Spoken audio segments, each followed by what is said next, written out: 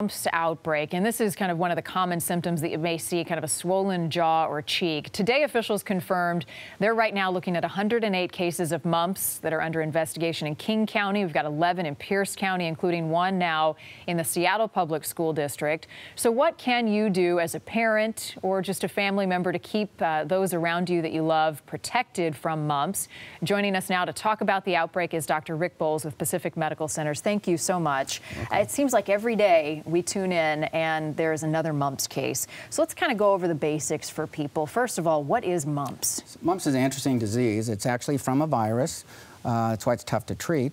But, um, you know, characteristically, it, you get swelling and inflammation of the parotid gland. So people often say you kind of look like a chipmunk. Mm -hmm. uh, you, it can be one side or both. And if you get both, you really look like a chipmunk. Mm -hmm. But um, then it can affect not all of them, but many of them will, you can develop brain issues with it, like encephalitis, meningitis, that sort of thing. Can affect the ear, hearing, mm -hmm. so you can have some deaf issues. Sometimes the thyroid can affect the heart, and can even, there's even pancreatitis that can occur from it. In boys, uh, it's kind of well known that the testicles can get inflamed from mm -hmm. it, mm-hmm. and in girls, it can affect the ovaries. So some serious complications. Right. Who is most at risk for getting mumps? You know, generally it's the young population, and especially the population that is um, close together. So that's why schools, you know, dorm, uh, dormitories, uh, any place where together. Mm -hmm. And it's spread, you know, basically with saliva. So you can imagine, especially place with a lot of little kids, mm -hmm. chewing on everything, right. you know, they've got stuff everywhere. It's so easy to transmit. It's pretty transmissible. So how concerned, concerned should we be about this outbreak? Because as I said, we continue to see more cases, and I think the thing that's maybe most alarming for people is that many of these cases, the majority, have been vaccinated against mumps with the MMR. So how worried are you and others about this as it spreads? Yeah, I mean, that's a really good question because people have been trying to figure out why is it that a lot of the people who are vaccinated are coming down with mumps, not all of them. Mm -hmm. Um, and people, we aren't quite sure. I mean, some of it is, you know, first off, when you get a vaccine of any kind, none of them are 100% effective. You know, probably the mumps is maybe 85% effective. Uh, so you still have that small population that really, for some reason, didn't get the antibodies for it. Um, and then there's some theories about are we are they losing some immunity? Maybe they need a booster somewhere down the road. I don't know.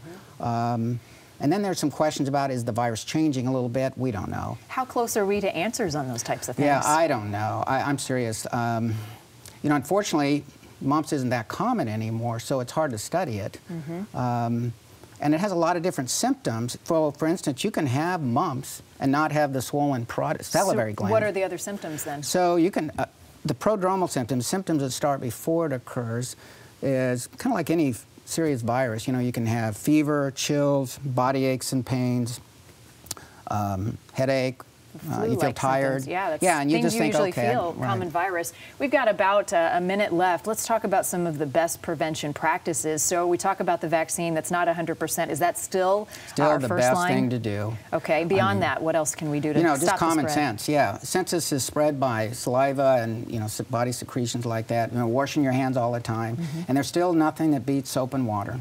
By me, I mean, so those kinds of things, you know, in places we got a lot of little kids, mm -hmm. you know, mm-hmm. keeping all the stuff cleaned up that they're chewing on and so forth, it can make a big difference.